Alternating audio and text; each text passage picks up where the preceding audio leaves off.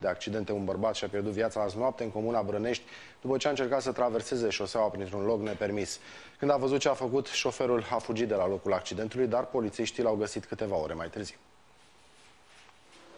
Când au ajuns la fața locului, polițiștii l-au găsit pe bărbat împins pe asfalt, fără suflare. Nici urmă de mașina care l-a lovit. Imediat au început căutările și după câteva ore au dat în urma șoferului care l-a lovit pe pieton. L-am găsit în, uh, în localitatea Brănăști, mai exact în satul uh, Izlaz, uh, pe una dintre străduțe unde lipsește iluminatul public. Era acasă la el sau parcase? Nu, parcase mașina în spate. Șoferul spune că este nevinovat. O să indici locul în care se afla omul pe care l-ai lovit pe banda de circulație. Unde? Aici, la mijloc sau Aici. la... Aici.